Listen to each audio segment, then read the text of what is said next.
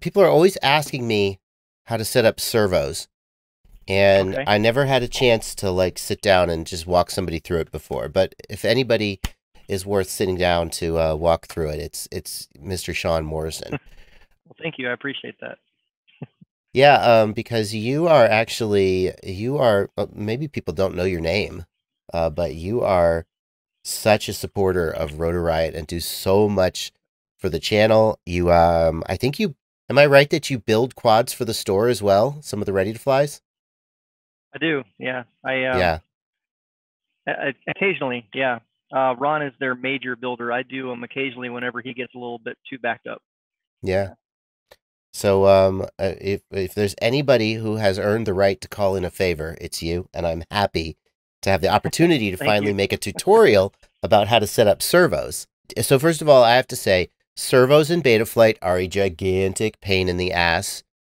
So when we go through this and you and the viewers are thinking this is a huge pain in the ass, you're right. Don't do if you really need servos like for something like a wing or a use iNav. Servos are so much easier to use in iNav, Yeah. But- I've used it before. But we're not going to do that today. We're going to do it the hard way. No. So what what flight controller are you using, Sean? That's the first question I would ask. Um, this is the HGLRC forward F7 flight controller. Okay. So the first thing we need to do is we need to identify a pin that we're going to use, or a pad that we're going to use uh, for our servo output. And the problem is that this pin or pad needs to have its own timer, a dedicated timer, which is an internal resource in the F7 chip that most of us don't ever think about. And the most reliable way we can do this is to use the LED pad. So I'm looking I'm looking at a pin out right now. Yeah, it does have an LED pad. So are you not using the LED pad for anything else? Uh, no, I'm not using it for anything else. Okay, perfect. So the LED pad always has its own timer.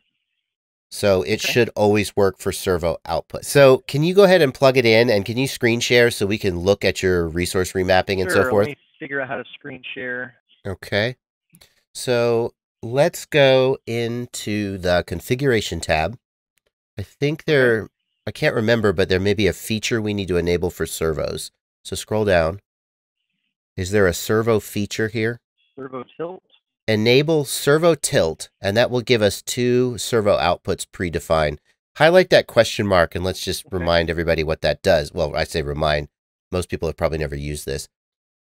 So the purpose of this originally is to have a gimbal that is automatically stabilized on the pitch and roll axis.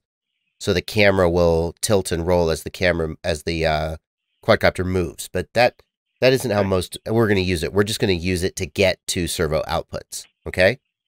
So we'll hit save on that.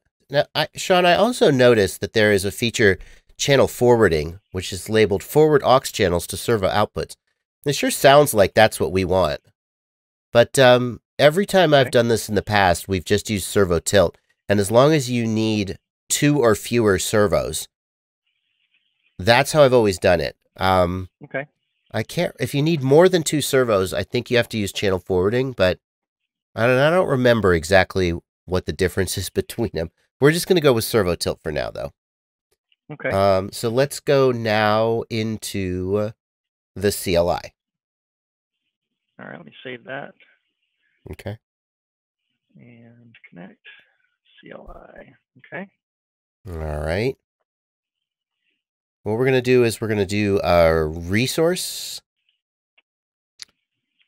And that is going to give us our resource assignments. And we want to find the LED strip resource. Is. That is the LED pin or pad that we're going to be using. And we can see it is on pin D12. Okay.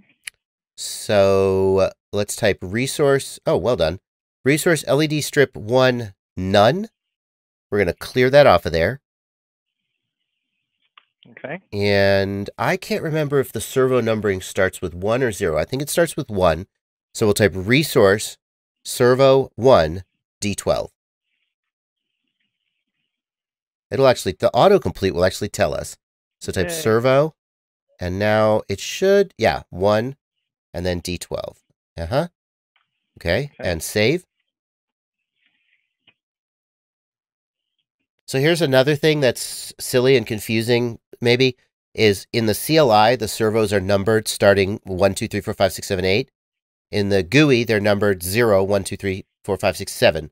So servo 0 is the one we're going to deal with. Computer code. That, yeah, uh, normally it's Yeah. the other way. Normally the CLI starts from 0 and the GUI starts from 1, so they did it backwards this way just because, I don't know. Yeah. And what we want is we want I we want to control this servo most likely with aux1, right? Or aux2. Which aux channel are you going to be using to control this Um, servo? Let's see. Say aux three, just because I never use aux three for anything. Four might be for RSSI, and one and two might get used for something. I'm not sure yet. So let's just say three, just in case. Okay. I never use that. So you're you're highlighting channel 3 now though. That's going to be literally channel 3, which is So- probably when you're like your rudder or something. So yeah, we'll go A3.